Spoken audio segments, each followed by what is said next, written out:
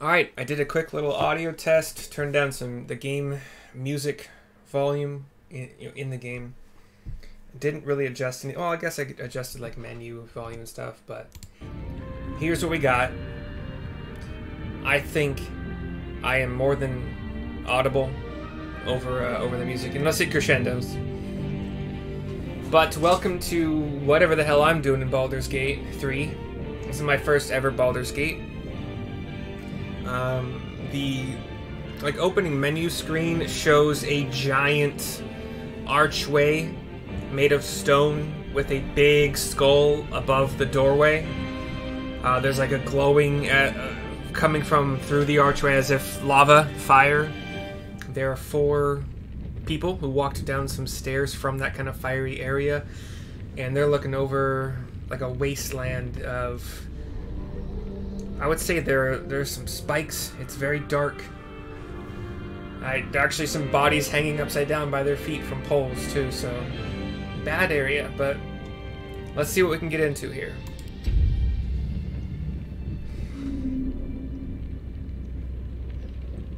Balanced adventure, full of challenging choices, tactician.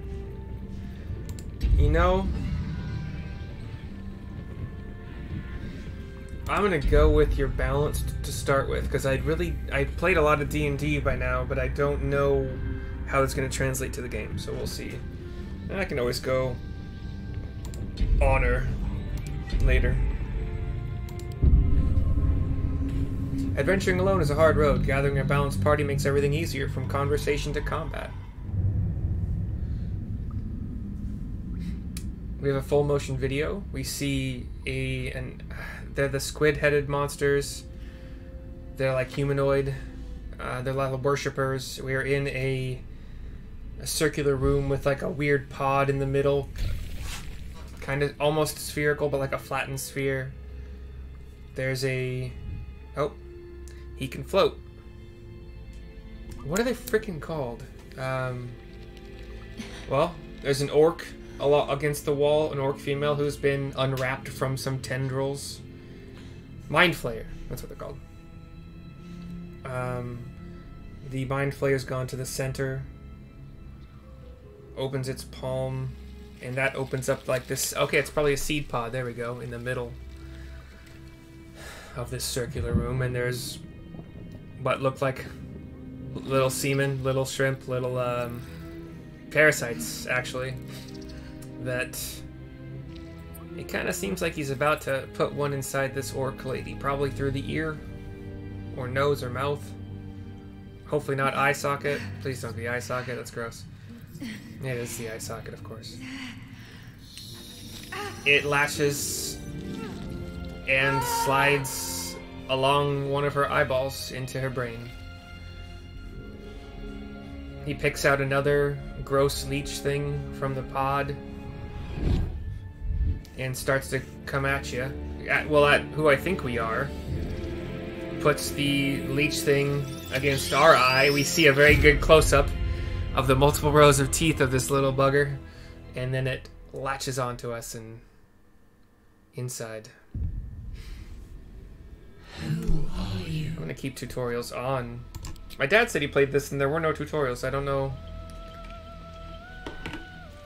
this part is going to take the longest, I guarantee it, because character creation always takes me a long time.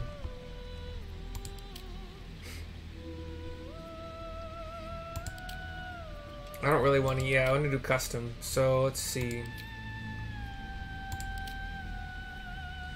I'll probably be male, but I'm not sure yet, we'll see. So you got your elves, they're you know, pointy ears, live a very, very, very long time.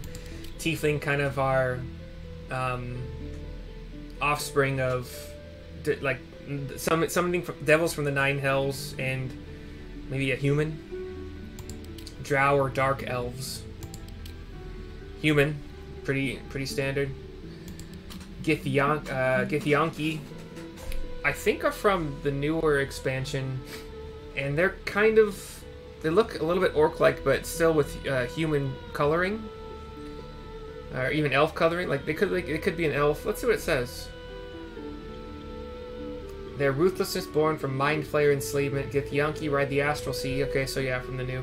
Atop red dragons, bringing their silver swords and psionic might to bear against any trace of the Illithid menace.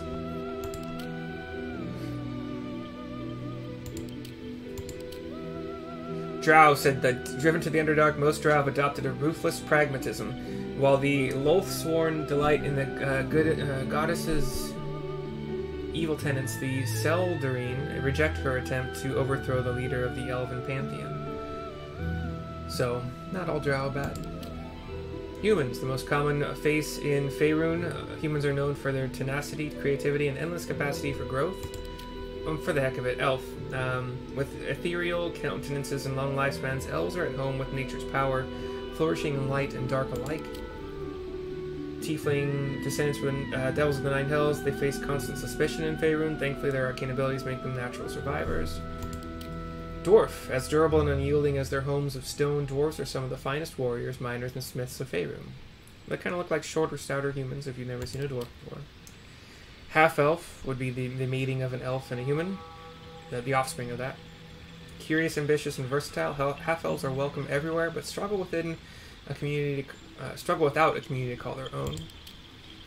Halflings, small yet capable, halflings prefer the comforts of home and hearth, but their natural luck and dexterity makes them fine adventurers. Gnome, small, clever, and energetic, gnomes are use their long lives to explore Faerun's brightest corners and darkest depths. Dragonborn, a proud race that values clan and skills above all else. Once enslaved by dragons, they strive to be self-sufficient, not wanting to be beholden to anyone, not even the gods. And half-orc. Creatures of intense emotion, half-orcs are more inclined to act than contemplate whether the ra- eh, whether, whether the rage burning their bodies compels them to fight or the love filling their parts, hearts inspires acts of incredible kindness. You got. So the races do not determine your stats for the most part, it would seem. We're going to get to that a little bit later here. They do determine what your features are, your base movement speed. So, for instance, elves have a base of 30. I'm pretty sure dwarves have 25. Yep, just like in D&D. As do gnomes and halflings. I think none of these are going to have a, a base of 35. Yes, 30 is going to be the highest for now. Um, what does this stuff mean? Get Githyanki get a plus one to their initiative roll, so like they can they're more likely to act first. Oh no, that's that's fighter, so that's the fighter stuff. Okay, that makes sense why it's over there now. But elves, let's see. Proficiency with long sword, short sword, short sword, short sword, and, and longbow. You can see in the dark up to 40 feet have advantage on saving throws against being charmed, and magic can't put you to sleep. They seem to have uh, done away with maybe resting in this game, because usually they have the trance ability. Tieflings can see in the dark 40 feet. Resistance to fire damage, taking only half from it. Drow get a free cantrip, Dancing Lights, apparently, so they can kind of create lights in a 30 foot radius area. Um, well, within 60 feet of them, the light illuminates 30 feet uh, radius and lasts for a minute. Its concentration and charisma is their saving, th- uh, their casting ability. Not that it usually matters for that spell. Um, proficiency with rapier, short sword, and hand crossbow. Dark vision for 80. Superior dark vision, cool. And saving throws against charmed, can't put can't put to sleep by magic. Civil militia, human, um, spears, pikes, halberds, glaives, armor proficiency with light armor and shields. Pretty much no matter what race you, uh, um, class you pick, so that's nice. Human versatility, you get an, an additional skill to be proficient in, and your carrying capacity is increased by a quarter. Githyanki, I'm not very familiar with these guys at all because I haven't played any Astral Sea stuff. Gain proficiency in all, in all skills of a chosen ability until long rest. So every long rest they can choose all skills of it. Oh, I see. So if they choose Dex for that day, they'll have acrobatics, um, sleight of hand, stealth, proficiency. They automatically get a mage hand, a psionic mage hand. It's invisible, so that's cool. Lasts for a minute. 60 foot range is pretty good. I think that's better than the 30 foot for normal mage hand, but I can't remember. And armor proficiency with light and medium armor, proficiency with short sword, long sword, great sword. Dwarves do suffer that 25 feet movement speed, but proficiency with battle axe, hand axe, light hammer, and warhammer. You can see in the dark 40 feet. Advantage on saving throws against poison, resistance to poison. So nothing really to make up for it unless you're fighting a lot of poison in a certain. Wait, what's all this stuff? Hold on. Why does that one have? Where'd that? Where'd the? Where'd the half elf fighter get firebolt from? What the fuck am I missing here? Um, yeah. So half elf, uh, spears, pikes, halberds, glaives, light armor, and shields. Dark vision, 40 feet. Uh, saving throws against charm can put to sleep at magic. Halfling. When you when you roll a one for an attack roll, ability check, or saving throw, you can re-roll the die and must use the new roll. Why wouldn't you want to? Um, you have advantage on saving throws against being frightened. Is that stout? Uh, brave. Okay. Gnome only has advantage on intelligence, wisdom, and charisma saving throws, which is pretty good because that's against basic a lot of magic. Not all of it, because you'll have a lot of dex saves for evocation kind of magic and um, con saves for some like poison-based magics, and that's the only feature they have. And 25 feet of movement speed. Dragonborn, nothing. They do have a breath weapon, but I'm not. So acid breath is probably based on what type of Dragonborn I choose, but I haven't got to that screen yet. Um, half orc is the last one. Dark vision 40. If you reach zero hit points, you regain one hit point instead of being coming down, or um, that's not the right word. It's the word they're using in this game, but um, unconscious. And when you land a critical hit with a melee weapon attack, you deal an extra dice of weapon damage. So pretty good for like frontliners. Pretty darn good indeed.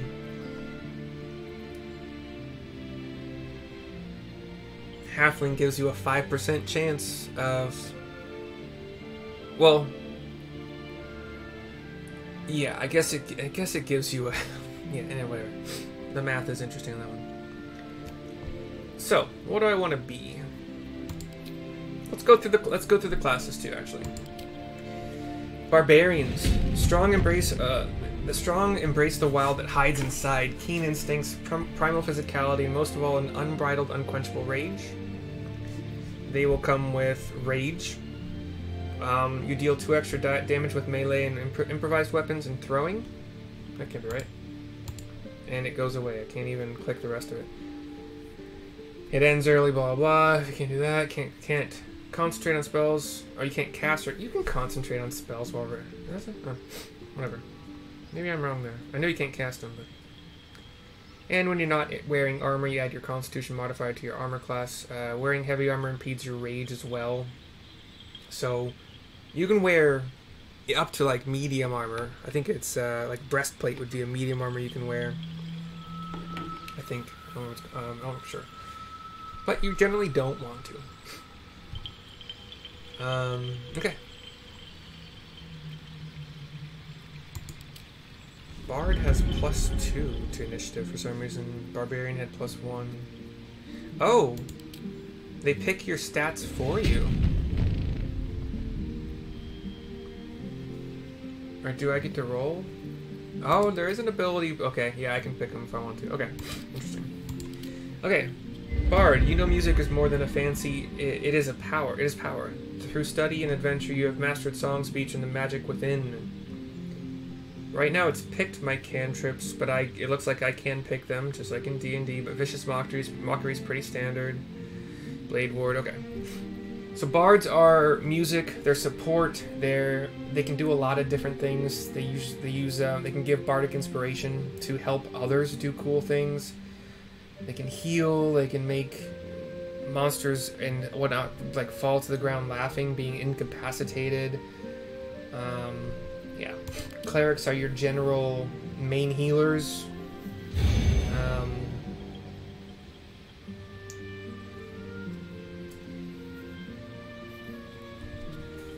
they can also kind of aid people in their in their ability checks to like you know, think well or lift something heavy or break that door down or evade some traps for a minute. Um, yeah, a lot of healing. They also have like their main their main thing is guiding bolt as a damaging spell generally. It is decent damage, and it makes the next attack roll against that target if it hits. Um, if the guiding bolt hits, the next attack has advantage. So it's much more likely to hit, like 25% more likely based on statistics. Um, some cool, yeah, healers support. Um, generally, you'll see them with mail armor, maybe even plate armor, shield, one-handed weapon, mace, something like that. Not really in much use for wand, but they, yeah. Druids can shape. Ooh, I think I know what I'm doing. I want to see my druid shapeshift. That'd be cool.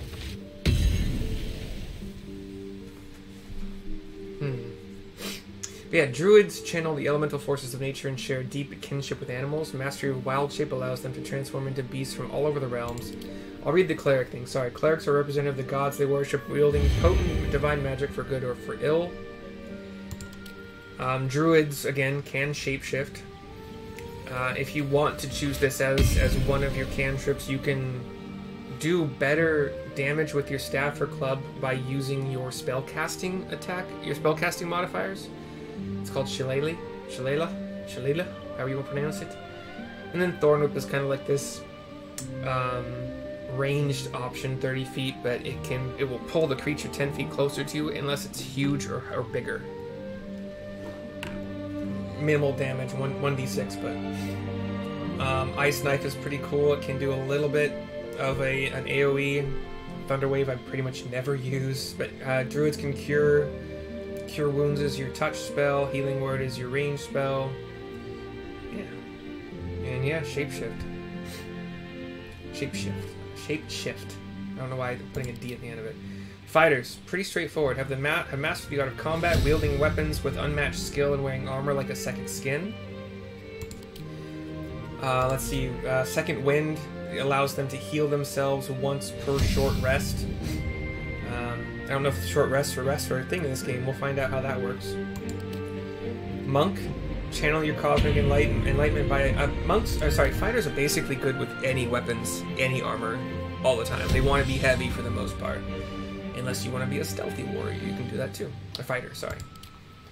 Monks, channel your cosmic enlightenment by deftly dodging and efficiently dis- dis- disassembling your foes through stunning strikes and a whirlwind of martial art attacks.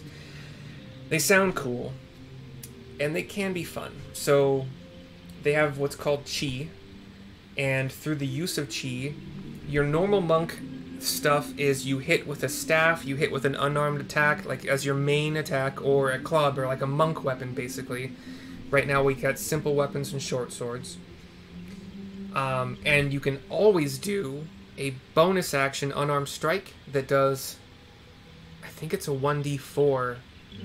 Because it's unarmed, a lot of classes don't get that 1d4. It'll just be a flat, like your strength mod.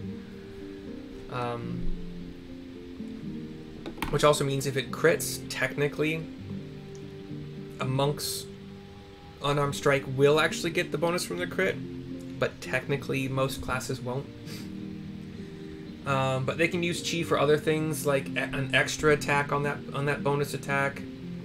Um, they can do patient defense to like this is all kind of just based on knowledge um, to be able to be harder to hit by by enemies for a turn. Uh, a bunch of other stuff. They can stun if they hit. They can choose to do a stunning strike and have a chance to stun. Um, my hold on.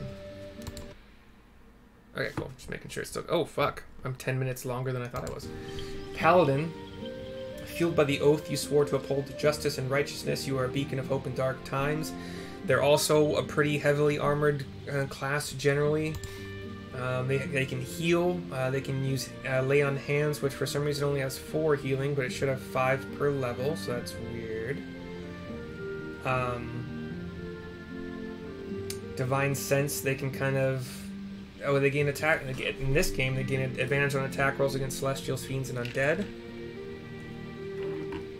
Uh, you'll have oaths. um, you'll have the ability to heal, ability to add holy damage to your melee attacks. Like even after you hit, you can declare it. Um. Oh wow. Healing Radiance as a class. That's not a spell though, right?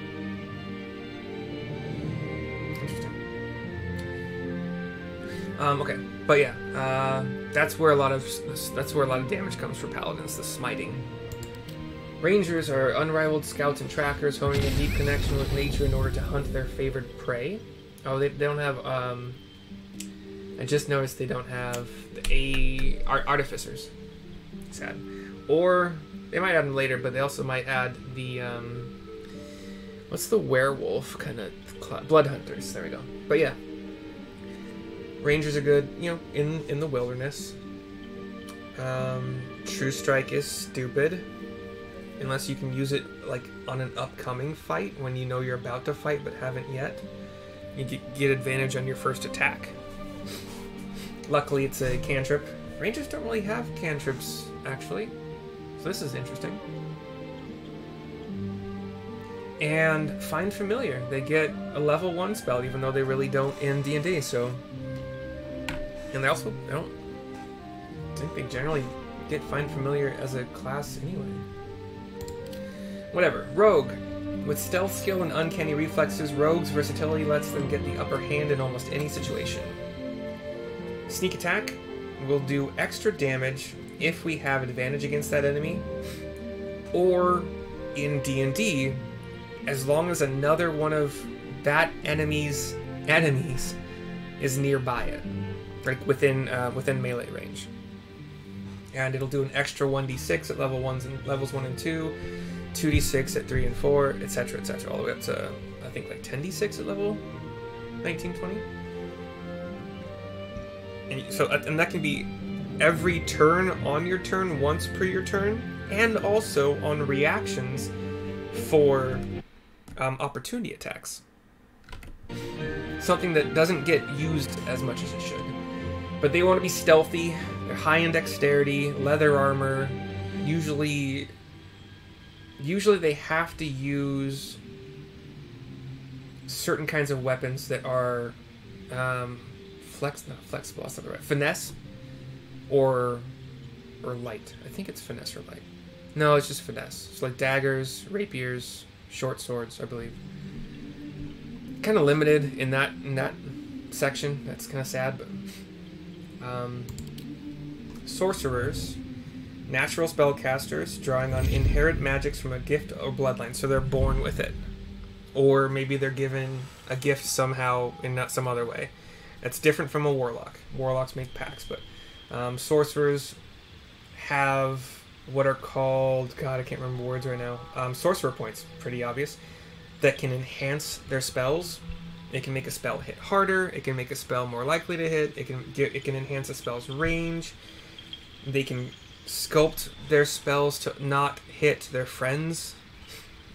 Um, if they're AOE, they can increase like the likelihood of succeeding on um, like having the target fail on a saving throw. But yeah, warlocks. Bound by a pact to an all-powerful patron, warlocks trade their loyalty for supernatural abilities and unique, uh, unique magic. Warlocks have these pact magics that can, in a lot of cases, if I don't know if this game has it, give them the ability to do like disguise self at will anytime as many times as they want. That's what at will means. We'll see. Um, Eldritch Blast is their basic 1d10 force damage, 60 foot range. It's it can be upgraded by the, uh, the Eldritch the Eldritch pa- packs. Um,